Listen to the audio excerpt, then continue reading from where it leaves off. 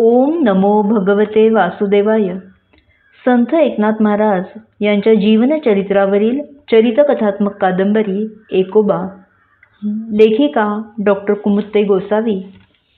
आजचा आपला पारायणाचा दिवस अठ्ठेचाळीसावा. बाळांनो शिशिरात पानगळ होणारच म्हणून काय वृक्षांनी आसुगळून उन्मळून पडायचं असतं का?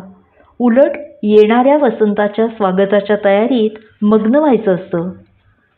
प्रपंचात आणि परमार्थातही. परमार्थातही असं घडतं का बाबा? हरिपंडितांनी विचारताच नाथांनी त्याच्याकडं कौतुकाने बघत उत्तर दिलं. परमार्थातही अविद्येचा शिशिर सुरू झाला की सत्कर्माची पानगळ होते आणि सद्विद्येचा वसंत फुलला की पारमार्थिक जीवनही फुलून जातं. तुमच्याही जीवनात तो तसा फुलला की तुम्हाला आत्मबळही भरपूर लाभेल बाळांनो. संथ पावलं टाकीत माझघराकडून जाणाऱ्या आपल्या पित्याकडे हरी आणि गोदा बघतच राहिले. नाथवाड्यातील माणसांची वर्दळ रोज वाढतच होती.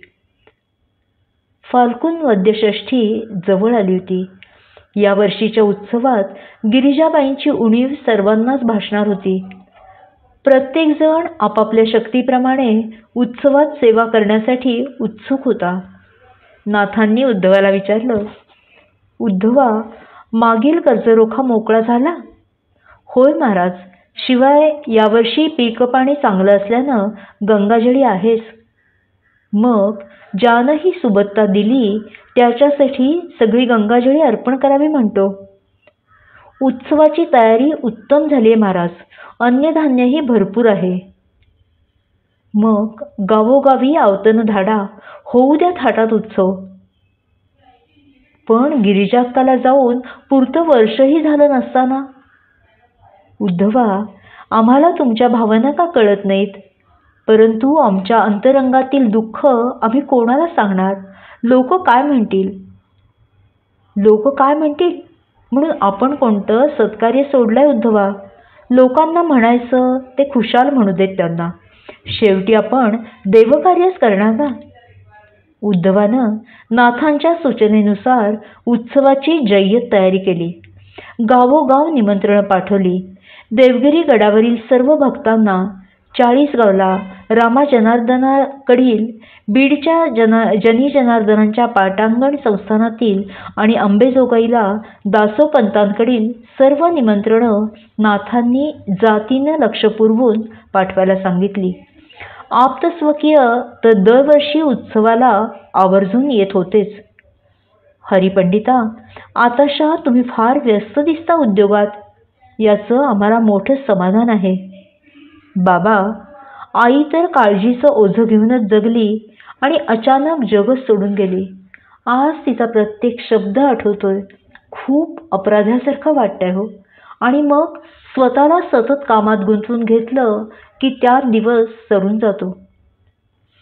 कोणतंही काम स्वेच्छेने जीव ओतून आनंदाने केलं तरच समाधान मिळतं पंडिता. जे समाधान तुझ्या आईनं आयुष्यभर भरभरून मिळवलं.